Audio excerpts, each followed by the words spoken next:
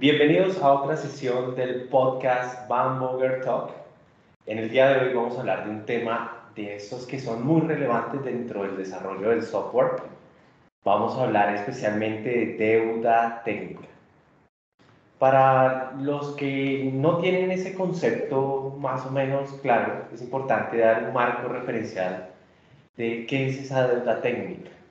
Según los autores, ¿no? cambia un poquito dependiendo de, del autor, es básicamente esa deuda de alguna característica, bien sea, eh, pues por acá lo estaba precisamente eh, proyectando, bien sea de documentación, de diseño, de arquitectura, de código, algún defecto, de testing, de automatización, inclusive de personas, algunos de esos defectos que se van acumulando y a medida que se van acumulando más y más, resulta mucho más complicado pagar esa deuda.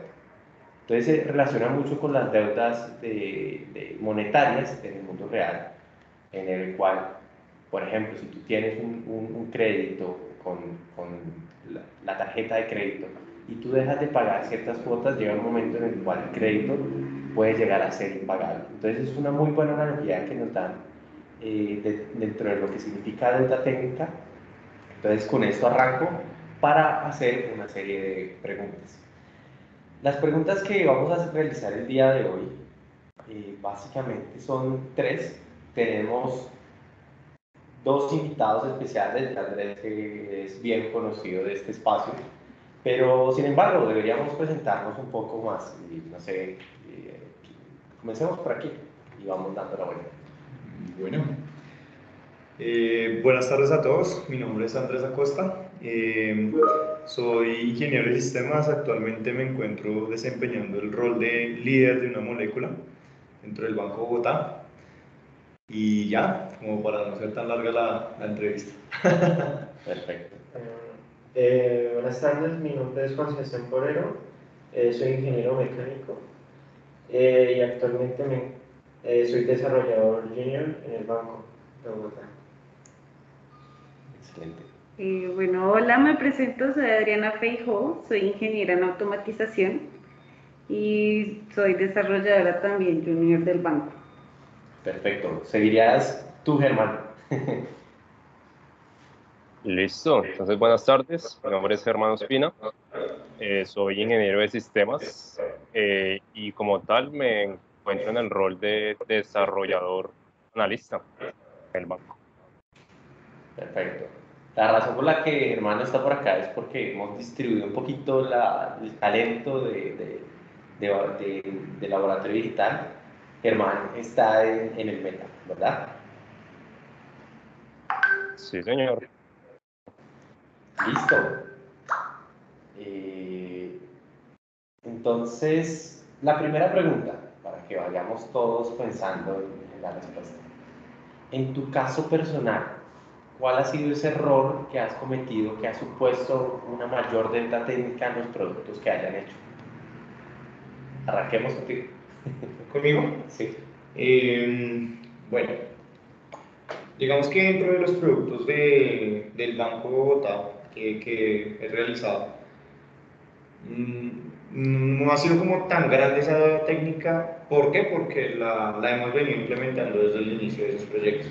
Pero, pero si hablamos ya de, de proyectos que haya hecho dentro de mi carrera profesional, eh, sí se ha, se ha, visto impactante eh, el hecho de tener un proyecto eh, sin ningún test, eh, sin ningún test unitario ni ninguna automatización continua, sino realizando las cosas manuales, todo manual, inclusive hasta el despliegue a producción manual, teniendo un solo ambiente. Eh, eh, eso, esas cosas, esas cosas a futuro me cobraron bastante, bastantes dolores de cabeza. Pero, o sea, listo, no hiciste la automatización, pero podías hacerlo. Exacto. ¿sí? Pero o sea, ¿cuál fue ese traumatismo que tú dijiste, fue pucha, esto realmente es el pago de una deuda que no hubiera tenido si hubiera comenzado a trabajar en automatización de años? Eh, eh, digamos que lo, lo, lo primero, eh, como, como se comenzó a dar esa, esa transición, el desconocimiento. Eh, una, una, de las falencias, digamos, que, que, uno tiene y que comete en el desarrollo de software en tempranas etapas de, de, de digámoslo así, de crecimiento, es el desconocimiento de saber esas, ese tipo de, de, de, maneras de prevenir, de prevenir de pronto eh, deudas técnicas, como, como lo, lo, decimos en este, en este, en este espacio. Eh, también, también otro de los motivos precisamente es la madurez eh, de, de, la organización a la cual pertenecía en ese entonces. ¿Por qué? Porque no era una organización que se dedicara a desarrollar software eso es uno de los grandes motivos también por los cuales eh, no me justifico. O sea, una panadería dijo, quiero hacer software. Prácticamente. O sea, prácticamente era una, una, sí, una empresa que no tenía nada que ver con, con una factoría de software. Eh, desarrolló un software que, que fue un software a, nivel Colombia, en donde pues no, no, no podemos, digamos, que, que que, o sea, no podíamos asumir eh, muchas de las cosas que, que, se hacen, digamos, actualmente en el banco. Como por ejemplo, como para ya, ya, ya cortar, eh, hacíamos un, un, prototipo de una aplicación y ese prototipo al final terminaba siendo un mínimo producto viable. Y, y, realmente, pues digamos que de un prototipo, que es algo que uno lo hace muy sin... En un par de días. Un par de días, literalmente así, sin pensarlo que se vuelva ya un mínimo producto viable, eh, la reutilización de código es de un 10%, eso digamos que lo ha hecho la práctica. Eh, entonces, pues ahí se cobran bastantes cosas a, a futuro, precisamente. Ese es como el, el, mayor problema que he tenido en mi carrera. Excelente, Andrés. ¿Qué dice Juan Sebastián? Bueno, pues parte profesional pues no he estado, pero digamos en proyectos personales, pues una vez estaba creando un videojuego en C Entonces, pues yo no tenía conocimiento sobre arquitectura, eh, pues yo pensaba, pues mi versionamiento de código, pues lo manejaba solo en el computador, eh, mi documentación era deficiente sobre el código, y pues yo iba implementando las mecánicas del jugador y de la, de la inteligencia artificial poco a poco hasta que hubo un momento que eh, ya el juego para encontrar bugs y eso, pues ya se me dificultaba. O sea, no sabía dónde estaba, eh, porque digamos el jugador saltaba sin saber. Eh, también, pues si quería regresar al juego, pues no podía porque mi versionamiento estaba muy mal. ¿Y, no versionaste, no sé, con Google Drive? Con... No, no tenía ningún control de eso, sino yo escribía y guardaba, escribía y guardaba. Yo tenía un, un, un, ejemplo de un doctor en, en, software que versionaba utilizando, no era Google Drive, era esta otra plataforma, eh, Dropbox. Dropbox. Yo, yo, yo, digamos que entrando ahí un poquito en una, en una de esas experiencias que tuve cuando, cuando entré a organizaciones a desarrollar software, que no eran desarrolladores precisamente versionaban también como colocándole punto .ol y si era otra versión punto .ol, punto y otra punto .ol, punto .ol, punto .ol. Con la final, final, final, final, era, final, final, era, era muy, muy chistoso. sí, sí, eso, sí, eso es una, una, buena deuda, porque si uno intenta ir hacia atrás o, o devolverse o, o hacer algún cambio, no tener versionado es crítico. Además, de pronto, no tener un repositorio remoto, si el computador se les daña, perdieron el trabajo. Muy buen punto. Sí. Listo. Vamos contigo, Adriana. Eh, pues yo creo que es más que todo cuando yo empecé a, a, a, conocer la programación, pues a nosotros nos enseñaron era que las variables las hiciéramos con, con letras para que fuera más rápido, pero yo creo que también eso era un error porque... Como, variable A igual a 1, variable B igual. Sí. Ok. Entonces yo creo que eso también era un error porque ya después cuando yo iba a mirar los, como los ejercicios que había hecho, pues ya no entendía qué era cada variable porque pues no tenían un nombre completo. Eh, sí, eso hace parte del conjunto de prácticas de Clean ¿no? Me, me, hizo recordar una anécdota, una anécdota mía. A mí me gustaba mucho la programación competitiva. Entonces, una programación competitiva claramente no se va a poner a hacer ping-pong. O sea, es tan, tan, tan, o sea, tónica, pura y resolver un problema en el, en el menor cor, cor, corto de tiempo, ¿sí? en el menor tiempo posible. Entonces, eso, eso, digamos que practicar tanto programación competitiva afecta también el desarrollo de software. ¿Por qué? Porque de cierta manera uno ya cuando programa, pues uno, uno programa de esa manera, o sea, se acostumbra a programar con esas malas prácticas de, de, de, de cierta manera, en donde pone A es igual a... Sí, o sea... A mí me lo enseñaron, fue con mis iniciales. Me decían, no, ponga, deje eh, su marca sobre el código, entonces ponga variable igual a JUCHC, ¿sí? O algo así. O está JUC. Y así usted deja ese código, mejor dicho, marcado. Y yo, yo, eso tampoco serio, pero bueno, digamos que en ese momento, primer Sí. semestre, uno creía todo lo que le decían, pero es malísima práctica. Listo, vamos con Germán. ¿Qué nos dices, Germán? ¿Qué nos cuentas de, de esas experiencias? Listo. Pues una experiencia bastante fea fue en un, desarrollo de un proyecto final para una materia de universidad. De hecho, era, era un proyecto de, de la materia de introductoria a programación orientado a objetos. Eh, no, era como un proyecto como de segundo corte. Entonces, eh, pues lo que había ocurrido al final era que pues se estaba realizando todos los desarrollos, eh, pues listo, todo, digamos, normal, pero a la final se terminó con un producto bastante acoplado. En ese momento usábamos una herramienta que nos, nos iba mostrando como el modelo de dominio de la aplicación y una clase estaba como relacionada con todo. ¿sí? O sea, como que todo convertía ahí y Llegó cuando entonces necesitábamos entonces como extender, pues eso era, era imposible, ¿sí? A la final la- lo que tocaba hacer después era, bueno, añadan otra funcionalidad, pero entonces tocaba como cambiar todo el código por, porque pues era, sí, era, era algo ya insostenible. A la final pues eso estaba pues re- mal eh, adaptado, organizado. Era un código de espagueti tremendo, ¿sí? Pues, ¿para qué decir?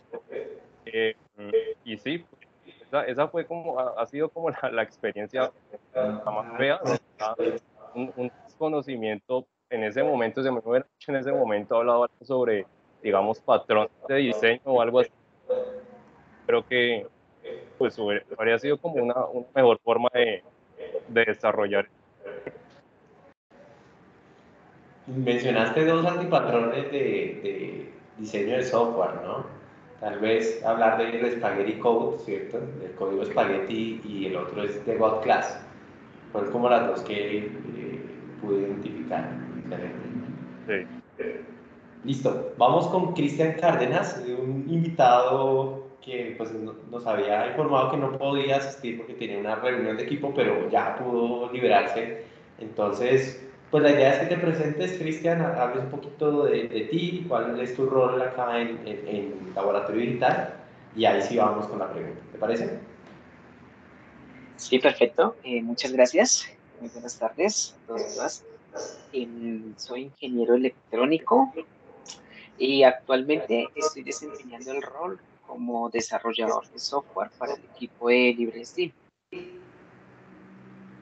Listo. Frente, digamos, a algunas de las cosas que también he detectado y que también me han pasado, digamos que desde mi rol, pues siempre me enfoqué más que todo a construir hardware, también de la parte de, digamos, de la transparencia de servicios, ya sea con un servidor.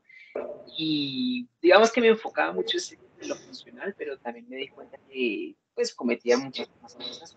Tal no tenía, digamos, un diseño o utilizaba mucho el espagueti. Cuando entré a- al banco, pues digamos que el, el panorama cambió bastante, la forma de programar y cómo llevar un producto escalable y funcional. Ok. De- De hecho, es, ya que tú hablaste de hardware, me gustaría ver que allá también hay deuda técnica. Por ejemplo, Cuando tú en vez de hacer un diseño PCB lo que haces es una protoboard, ¿cierto? Cableas todo y de pronto dejas eso así, pues a veces, y ha pasado, yo he visto cosas de ese, en ese sentido y sacan a producción un, un, un prototipo, como nos decían desde pronto en su intervención, sacan un prototipo a, producción, o sea, cogen tabaquil, cogen, perdón, la protoboard con los cables, ¿sí? con los componentes conectados ahí y dicen, uy, esto es producción, pero ¿qué pasa con ese circuito? Puede ser que al principio funcione, pero después de un rato, pues se acumula el mugre dentro de los slots de, de la protoboard, ¿sí? comienza también a, la capacitancia propia de, de, de, de la protoboard, la admitancia, pues comienza también a afectar, a tener unos, unos eso se llama un comportamiento eh, en la frecuencia que de pronto no es deseado y comienza a dañarse el circuito pero que esto no está funcionando. Entonces me acuerdo mucho de eso, ¿no? A pesar de que hay ciertas similitudes y también diferencias, también en hardware encontramos, y hardware productivo, encontramos mucha deuda técnica. Excelente intervención. Es correcto. Listo, vamos para la segunda pregunta. La segunda pregunta es, ¿cuál es el peor caso de deuda técnica en tu equipo actual? Ya pues podríamos hablar de pronto ya de los equipos digital, tal vez los que están recién entrados al banco no nos podrían apoyar mucho en esa pregunta, pero va para los cuatro, ¿sí? Va para, para Andrés, para eh, Germán, para Cristian y luego remate. Cambiemos el orden. ¿Por qué? bueno, voy a arrancar yo. A mí me parece crítico dentro de los equipos en los que, en los que he estado, me parece bastante crítico la deuda personal. ¿sí? Yo he estado en equipos que hacen software, ok, ¿sí? lo hacen de la manera que conocen, perfecto, pero no se preocupan precisamente por mejorar esos skills. ¿sí? Como que no leen todos los días, no se cultiva ese conocimiento de, software. Entonces, que no sepan Solid el primer día se, se, entiende, ¿sí? Pero ya después de un buen tiempo en, en laboratorio es, es mala idea no saber Solid, o es mala idea no saber Clinco, o es mala idea no saber arquitecturas hexagonales, o es mala idea no saber la sintaxis del propio lenguaje, las ventajas o desventajas de utilizar un ciclo for o un for each, o utilizar promise, async await, utilizar todo este tipo de elementos propios del lenguaje que ya llevan trabajando un año. Me parece a mí crítico ese tipo de, de cosas. Dentro de los equipos que he estado, ese ha sido el mayor problema de deuda técnica. Digamos que gracias a que tenemos ciclos de integración continua, gracias a que tenemos Sonar Cloud, gracias a que tenemos los linters eh, de revisión de estilo de código, gracias a que tenemos de pronto WhatsApp para el escaneo ya dinámico de la aplicación, ya que tenemos testers que hacen muy buen trabajo en las pruebas funcionales, gracias a que tenemos todo eso, la deuda como tal de ese tipo de cosas no se ve demasiado, pero sí se ve en un lugar donde la mayoría del tiempo está el desarrollador, que es en los pull requests. Entonces ve uno pull requests en los que no hay ningún comentario. ¿Cómo es posible, si sabemos que, que tenemos valencias, cómo es posible que no hayan comentarios en un pull request? Si somos perfectos, tan realmente perfectos que un comentario con 50 archivos cambiados, perdón, un pull request con 50 archivos cambiados no tiene un solo comentario. Me parece a mí increíble. Y esa es la deuda técnica que yo veo más urgente de cubrir, que a pesar de que tenemos muy, muy, muy, muy buena cultura de aprender y demás, sí es importante reflexionar en que de pronto algunos elementos los usamos bien, pero otros que son tan esenciales como la revisión por pares, tal vez no las estamos haciendo de, de la manera correcta. Hace unos días me daba yo el paseo por, por todo GitHub eh, de, del banco y pues los que hacen una revisión buena, ¿sí? los que hacen comentarios, realmente comparten ese conocimiento, a veces son pocos. Puede ser, eh, de pronto hay alguno de, de, los que me está escuchando tiene una opinión diferente, pero puede ser que, no sé, se compartan ese tipo de conocimiento por el chat o a través de llamadas, haciendo per programming. Pero yo creo que hacerlo en el pull request es una herramienta mucho más poderosa. Ese es el comentario. Listo, ahora sí, dale Andrés. excelente. Eh, bueno, digamos que dentro, de, dentro del equipo, la deuda técnica que más grande he visto y es que no valoramos la utilidad de los test En el aspecto de que muchas veces eh, olvidamos, digamos, la buena práctica de hacer TD y vamos directamente al código y literalmente hacemos lo que tengamos que hacer. Miramos que la cobertura esté en 80% bien y lo subimos y lo probamos.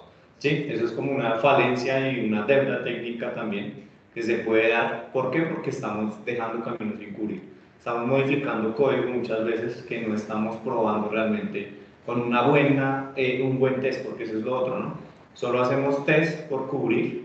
muchas veces ha pasado de que se hacen test por cubrir, no siempre, obviamente, que si no me, me crucifican acá, hay una persona de mi equipo y, dicho. Desagradecido. Sí, pero o sea, muchas veces hacemos solo el test eh, por, por, cubrir, eh, digamos, la cobertura en zona, pero no hacemos test eh, que valga la pena, ¿sí? que testeen una funcionalidad. Que, realmente una funcionalidad, que tú hagas un stack, un asset, que tú hagas diferentes, o sea, uses realmente de, de, una forma correcta el test, ¿sí? Que, que, el test sea descriptivo, ¿sí? Porque uno ve esos tests y uno dice, ¿qué? O sea, a veces ni la descripción del test es clara, ¿sí? Entonces eso, eso digamos son cosas que hemos venido mejorando claramente, que nos ha tocado pagar eh, cosas y, ya lo hablo ya de, errores que se presentan digamos a veces a diario, como nosotros eh, precisamente por ser una molécula vamos es a, velocidad crucero, ¿sí? A velocidad de lancha. De lancha, de lancha. A velocidad de, de, lancha, exactamente, perdón. Eh, gracias, Jorge. Eh, entonces, eh, omitimos muchas cosas, omitimos precisamente esa revisión exhaustiva que hacen los testers, ese muy buen, muy buen trabajo que hacen. Lo, lo, omitimos, ¿por qué? Porque pues tampoco en el equipo lo tenemos y, y, tratamos entre nosotros mismos hacer esa, ese, esas pruebas, pero muchas veces también nos coge el cronograma y, y nos saltamos pasos. Entonces ahí está esa, esa pequeña deuda técnica en el equipo. Excelente. ¿Qué dice Germán? Eh, la verdad sí concuerdo con Andrés. Eh, cuando uno empieza a ver que la aplicación que se desarrolló empieza a tener a veces bastantes problemas, pues sí, un, una causa puede ser la mala aplicación de, de test unitarios previo a llevar a ambientes productivos. Eh, honestamente, pues es una, es una molécula en donde lo que se busca es cultivar mucho el, aprendizaje. Pues, es decir, estamos en el mismo equipo. Em, y pues es una molécula en donde la mayoría de personas que entran, entran es como para nutrirse acerca de, digamos, el contexto del banco, del laboratorio digital y pues de las tecnologías que se usan para ir a otro equipo y pues se entra con, bastante, con bastantes falencias, incluyéndome, porque pues yo entré como practicante y pues desconocí muchas cosas. Entonces, ahí también está el tema de eh, la falta de conocimiento, no solo de tecnologías eh, de software, sino también de temáticas que no tienen tanto que ver con software, mm, pueden ser más organizacionales, ¿cierto? Eh, el caso es que a veces por ese desconocimiento que se, que se ve tanto en el equipo, ¿cierto? Porque por lo menos hay un compañero que, ni siquiera está, es ingeniero, ni siquiera tiene que, ni siquiera está en alguna de las ramas de la ingeniería y pues eh, él se ha forjado totalmente, él es autodidacta, ¿sí? Él es, él es desarrollador autodidacta y pues en, el, en ese proceso de aprendizaje pues se van cometiendo errores y pues obviamente eso pues refleja, se refleja también en el código y pues eso va a repercutir también mucho en la deuda técnica. Entonces, pues la pregunta era, como para ir redondeando, ¿no? La pregunta era, pues, ¿qué deuda técnica es como la que se ve en el equipo? Pues esa es, ¿no? Entonces, es un equipo como en donde se cultiva el aprendizaje y pues obviamente es casi que un, equipo de, de, ¿cómo decirlo? Como de, de, de, laboratorio, o sea, un equipo, como digamos, de, en donde se, se pone a prueba la, a la persona. Y pues en ese de poner a prueba, pues siempre tienden a surgir ese tipo de cosas, ¿no? Ese, ese es el, el proceso de aprender, fallar y pues fallar rápido, ojalá, pero pues por supuesto que esto genera muchas cosas de, relacionadas con deuda técnica. Comparto completamente esta opinión. Listo, ¿qué dices, Cristian? Sí, pues digamos que es... Está bueno. ¿Aló, aló? Ahí te escuchamos bien, ahí te escuchamos. ¿Ahí? Ah, perfecto. Em, de acuerdo, digamos, a cada una de las opiniones generadas, pues como que también me amplía un poquito el panorama, de pronto no lo había visualizado como tal, pero sí muy alineado y con lo que dice Jorge y Andrés, pues con mi equipo, pues hay algo que por mencionar y es que como es un, un producto tan grande y tan especificado ya dentro del laboratorio, pues se han generado una cantidad que, que no implica que de pronto el producto no responda, digamos pero sí es una deuda que se viene ahí acumulando y es por el hecho de que y hay que hacer modificaciones constantes en pro de mejoras, en pro de trabajar por usuario. Sí, digamos que está dificultado mucho pruebas, refactorizar a través de el front, porque ya se y entonces se trabaja. Están recortando la voz Cristian. No sé si Germán también la escucha entrecortada. Sí, Cristian, se escucha entrecortado. Sí, sí, donde estoy casi, pues, es como problema de red, se me hace. Pues si, hablas despacio, los, los, paquetes se alcanzan como a, a rescatar.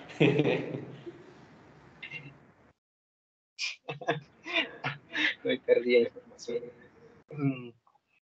Entonces, digamos que para resumir, hay dos deudas técnicas que las estamos trabajando, pero aún así nos pesa bastante. Una es el manejo de bugs y la otra es el refactor del producto. Desde un principio, pues, eh, la escalabilidad no hubo tan, digamos, pues, la posterior Entonces, la idea es que como el producto ya ha crecido tanto, es empezar a hacer un y con microfrones para cancelar toda esa deuda técnica que nos ha que nos. Ok, o sea, el problema de tener monolitos tanto de frontend como de backend es lo que te alcanzamos a entender, ¿cierto? Sí, señor. Sí, sí, sí, sí. Listo. Vale, Cristian. Perfecto. Bueno, ahora vamos con la última pregunta. ¿sí? ok, ya hablamos del contexto personal, tal vez de, de equipo. Ahora, ahora sí podemos participar todos de nuevo porque es cuál de todas esas prácticas que generan deuda eh, técnica, cuál de todas esas prácticas consideran la peor que haya conocido en, sus vidas? La peor. ¿Sí? Pues si quieren ataco yo otra vez en español para no coger a Andrés a mansalva. Mm. Pues yo puedo decir no la peor, sino las dos peores. no me puedo decidir por una. ¿sí? Una enorme es el tema de pruebas automatizadas, ¿sí? la ejecución de esas pruebas automatizadas, pruebas unitarias, funcionales, las que sean. ¿sí? Ese tipo de pruebas, así tú tengas deuda de documentación igual te ayuda a, a poder seguir evolucionando el proyecto. Que, ok, que el tema del diseño no está muy bien y demás, pero si tú tienes unas pruebas que reflejan realmente el funcionamiento y han sido ejecutadas cada vez que se integran nuevos cambios en el código, pues también puede que funcione la cosa, ¿no? No, no, no es tan grave, ¿sí? Así hayan defectos en el código, bueno, pues con unas buenas pruebas yo puedo refactorizar. ¿Qué carajos? ¿Sí? Ok, que la variable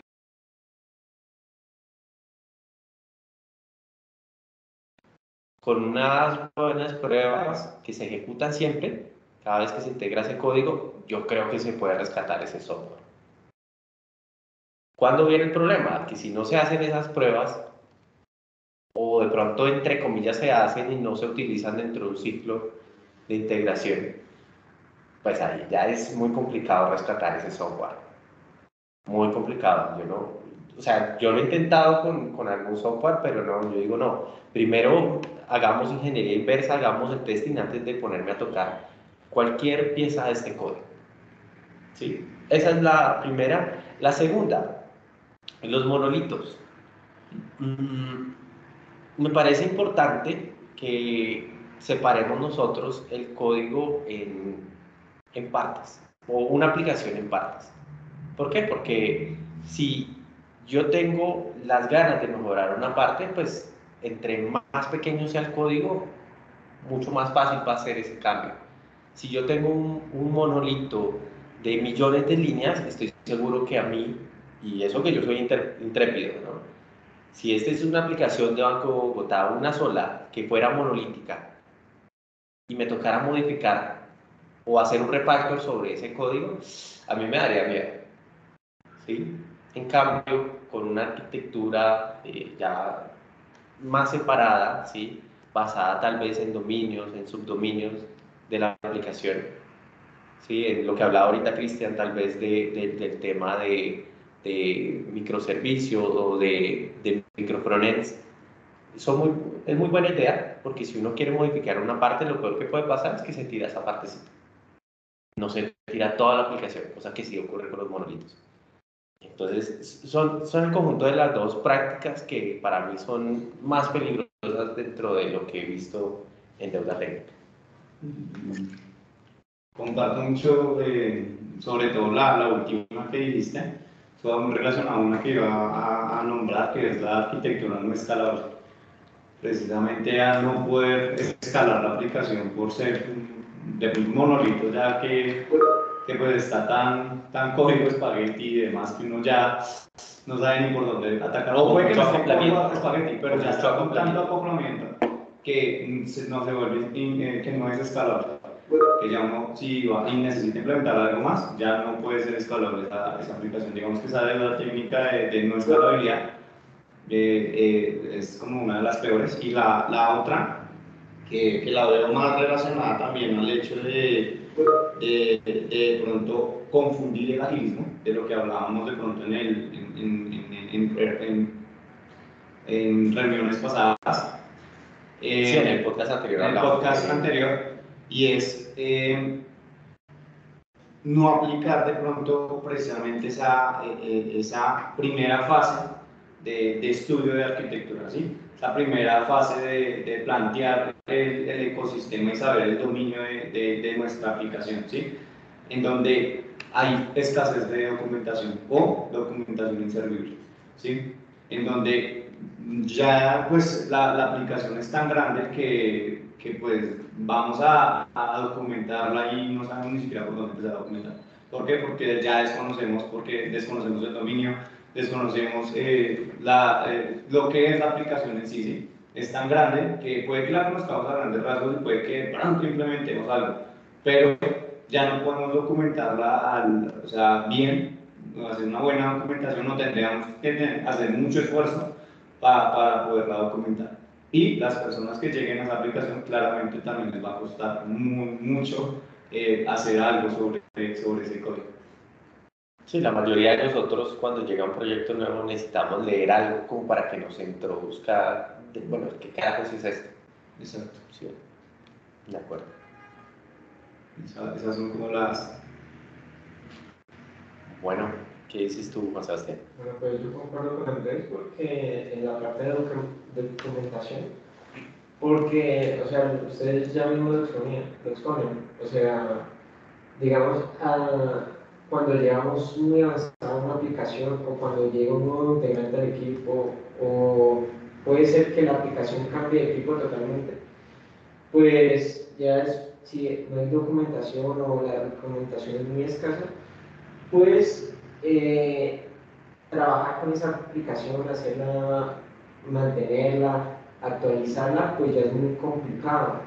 Ya va a requerir mucho tiempo o ya, digamos, si está, también, si está mal estructurado el código, pues ya va a ser imposible de, de escalar o de mantener. Y también, pues yo también considero pues la falta de colaboración en los equipos porque esa falta de colaboración hace que eh, el, código pues quede como mal y además de generar retrasos, eh, código de poca calidad o nula calidad, hasta de pronto puede que la aplicación no pueda funcionar en un futuro.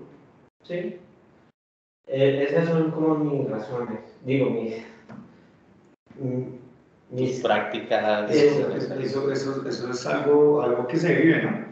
Digamos, en un ejercicio práctico que, que yo hacía eh, con, con, Mauricio, con el arquitecto, con el líder de arquitectura, era precisamente eh, mirar un sistema, un sistema grande, un sistema de votación, en donde a final de cuentas, ¿qué terminan haciendo los grandes, o, bueno, los, los líderes políticos, por decirlo así? Eh, que mandan a hacer, digamos, el sistema de registro de votos lo mandan a hacer a India, este sistema se lo mandan a hacer a un colombiano, este otro sistema se lo mandan a hacer, pero entonces esos sistemas son sistemas eh, que no son, que son sistemas cerrados, son sistemas que no, no se pueden acoplar, ¿sí? Y al final de cuentas cuando se intentan acoplar esos sistemas, o hay que hacer muchos adaptadores, o hay que hacer mucha... Yo, diría que es más como que no, no son cohesivos. Exacto, no, no son cohesivos los adaptadores, perdón, esa es la palabra, gracias. Eh, no, no, no, no conviven entre ellos, entonces pues no, no pueden existir, no, no, o sea, son... Son islas. Son islas, exacto, donde, en donde no, como no hay esa comunicación, no hay ese trabajo en equipo precisamente, pues se desconoce lo que, lo que hagas tú o lo que hago yo. Y al final de cuentas, pues puede que yo, no, yo cerré mi para que tiene que ser así, o de esta forma, o de este modelo, o a esta base de datos. Y puede que esta persona lo haya hecho de una forma diferente, ¿sí? Entonces eso, eso se, se, se, se vive inclusive en, en muchos software que se hace. Listo, vamos con Adriana. Ok. Eh, bueno, pues yo estoy de acuerdo con todos sus comentarios. Eh, me gustaría agregar como eh, la práctica del clean code, pues porque si, bueno, si digamos no tienes la documentación, pues si la persona anterior tuvo buenas prácticas y hizo clean code, pues tú lo puedes entender. Se autodocumenta, ¿no?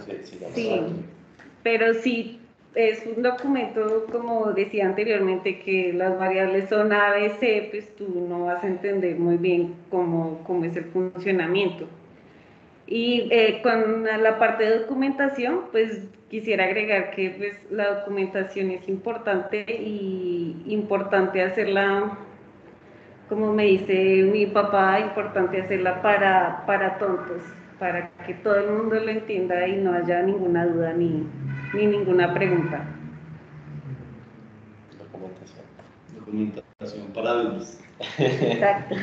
Ah, ¿Se han visto esos libros? Programación en C++ para dummies. Excel para dummies. Por dummies, algo así. sí. Germán, it's your turn.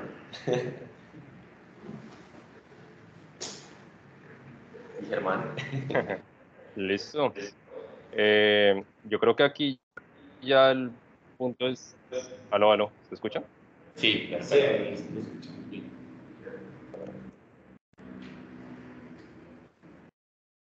Listo. Eh, yo creo que este punto, pues ya se, pues, no, sé, no, no, creo que todo, pero pues ya se ha dicho ya una buena parte de, de eh, de cuáles podrían ser como esas, inclusive mejores prácticas para la técnica. Agrego otra. Eh, el tema de, pues creo que no se ha tocado, ¿no? El tema de la seguridad. A veces, pues trabajando con este tema del sandbox, ¿cierto? Para evitar Uno lee varias cosas, eh, inclusive mm, uno a veces se pone a revisar ahí los repos y ve que el dependa o pues a veces no se tratan. Sí, como que dejan ahí los el pull request y mm, como que no, no actualizan la versión ni, ni nada, ¿cierto? Entonces, el tema de la seguridad que es muy importante. A veces sí, está bien pues el clean code, está bien todo lo demás, pero pues una cadena es tan fuerte como su eslabón más débil lo sea, ¿sí? Un código, bueno, chévere, pero si no tenemos en cuenta las buenas prácticas para seguridad, pues estamos ahí como graves. Graves, de acuerdo. Sí, pasa eso, ¿no? Uno ve que Dependabot, que es la herramienta, para quien no la conoce, es la herramienta, una de las herramientas que nos da GitHub para escanear seguridad, en especial en las dependencias muchas veces se hace caso omiso a eso, ¿no? Porque, ah, una, un pull request, ok, que cambia esta versión, ok, no me interesa, ¿sí? No me interesa, y entonces, pues eso nunca, nunca pasa, ¿no? Y creo que es un punto importantísimo más siendo un banco. Que igual podemos decir, bueno, se sopesa algo del tema en, en Zona Cloud, se sopesa algo del tema utilizando eh, WAPs en, en, la nube, se sopesa algo del tema con el tema del saldo. Y Germán tiene razón en ese sentido de que, eh, ok, tenemos mecanismos para controlar esa seguridad, perfecto, pero no cae mal agregar otros mecanismos para, para asegurarla de mejor manera en cualquier punto, desde cualquier punto de vista. Yo, yo, pienso, ¿no? Pienso, ya es como un comentario final mío que uno de los eh, déficits precisamente que tenemos los equipos o que tienen los desarrolladores al no actualizar esas dependencias, porque la actualización es muy sencilla, ¿no? Es, o si es un, si es un proyecto de no, en el package colocar la versión que dice dependado y ya. Aceptar el pull request de dependado a una rama eh, y ya. Pero ahí viene el detalle y, y el por qué es, digamos, tan importante eh, evitar esto de la deuda técnica. Porque cuando actualizamos las versiones, seguramente se nos rompen cosas. Pero a veces se les rompen, como por lo menos en mi caso me pasó hace muchos años, que se, o sea, actualicé unas dependencias que dijo dependado, mi código era tan malo, o sea, tan, tan, tan pobre en ese momento, que se me rompió todo, ¿sí? Entonces, claro, yo dije, no, me toca dejar esa vaina como estaba, porque para, o sea, el tiempo que tenía para actualizar, digamos, esas dependencias, y como se me han roto tantos módulos que, que había hecho, pues era, era, o sea, era complicado, ¿sí? Entonces ahí, ahí de pronto también es por, el por este tema, ¿no? De que ese código seguramente tenía tanta deuda técnica que por eso mismo, y falta de malas prácticas, ¿no? Seguramente no tenía tampoco temas de Solid, patrones, le faltaba un poquito de, de también de Sí, por ejemplo, una fachada, la mayoría de actualizaciones de bibliotecas, ok, que cambió, ya no se llama así la función, sino de otra manera, pero tiene una fachada. Tiene una fachada, exacto. pero, pero por el hecho de tener esas malas prácticas y, y esa deuda técnica, no se podía actualizar esa simple versión. De acuerdo, excelente. Bueno, Cristian, tu turno. Sí, Señor, dijo Jesús, todo está consumado, pero digamos que ya llegando a conclusión y algo que también hemos evangelizado aquí dentro de nuestro equipo, digamos, llevando todo este generado de opiniones, es como apropiarnos también del producto y, digamos, si no hay documentación, vea, pues, pues porque yo no documento. Si, si, si, hay que escalarlo ¿por qué no revisamos eso? Entonces, desde la parte de arquitectura hacia nosotros como equipo ahí, llevamos eso, entonces hemos como evangelizado eso y apropiarnos y utilizar, digamos, que hay, no sé, dentro del laboratorio no se habla de este tema, pero es el boom por afuera o se escucha que en otras empresas lo están utilizando, pues lo llevamos a colación y pues lo, lo discutimos en pro de mejorar el. Entonces, sí como que hemos evangelizado eso dentro de- del grupo, de la mano de, de todos. Listo, listo, Cristian.